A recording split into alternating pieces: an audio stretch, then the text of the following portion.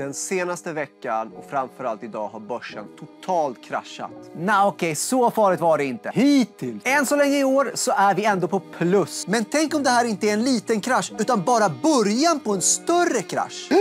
Då uppstår det faktiskt en hel del möjligheter. Och nu kommer jag ge er sex tips på hur man på riktigt kan bli vinnare när det är en börskrasch. Så se klart på videon för det här är tips som kan spara dig mycket, mycket pengar genom livet. Tips nummer ett. Köpa defensiva aktier. Defensiva aktier, det är aktier till bolag som håller på med sånt vi inte klarar oss utan som man måste ha vare sig det är bra eller dåliga tider. Till exempel mat eller läkemedel. För sånt kan man aldrig vara utan. Elsa, Josefin, kan ni komma hit ett ögonblick? Det är ett blodbad där ute på Nasdaq, det är som ett zoo där ute. Ni måste alla hjälpa till att dra in på familjens kostnader. Vi kommer som tur är få behålla min familjens sportbil. Däremot måste vi dra in på mat och medicin. Elsa, gumman, sluta gråta. Men om vi ska vara seriösa, det finns ett problem. När börsen kraschar så brukar defensiva aktier krascha lite mindre. Men det är fortfarande så att de går ner när resten av börsen går ner. Tips 2. Guld! Guld har klarat sig genom världskrig, pandemier och inflationen. Helt enkelt, om det fanns en skala från minst tillit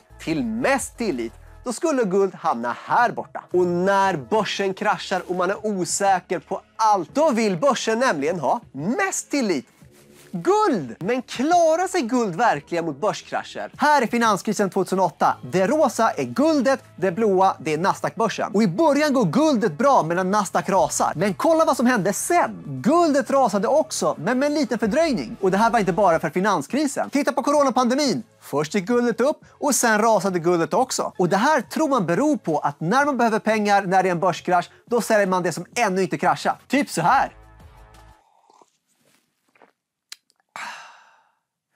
Jag tror att de säljer lite guld och därför ser vi ofta att guldet kraschar kortsiktigt när börsen kraschar. Därefter mår guldet mycket bättre. Sen behöver man inte gå all in guld för att man vill ha lite skydd mot börsen. Det räcker med en liten klick guld så är man lite skyddad. Tips 3! Blanka börsen. Helt enkelt köpa instrument som gör att när börsen går ner så går värdet upp. Och det här är liksom inte ett sätt att bara skydda sig mot en börskrasch. Snarare att tjäna massa pengar på själva kraschen. Problemet då, har du fel och börsen går upp, ja, då går ditt värde ner.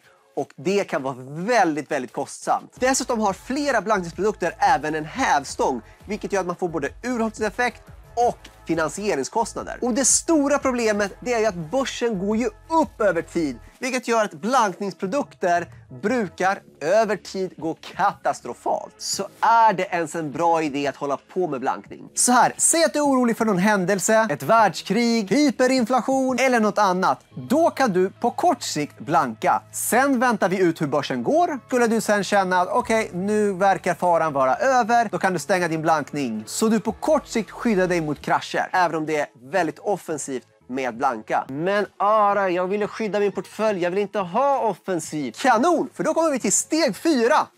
Kassa! Det här är den enklaste av dem alla. Helt enkelt, du säljer av lite av portföljen. Och skulle du ha fel, ja, då missar du uppgången.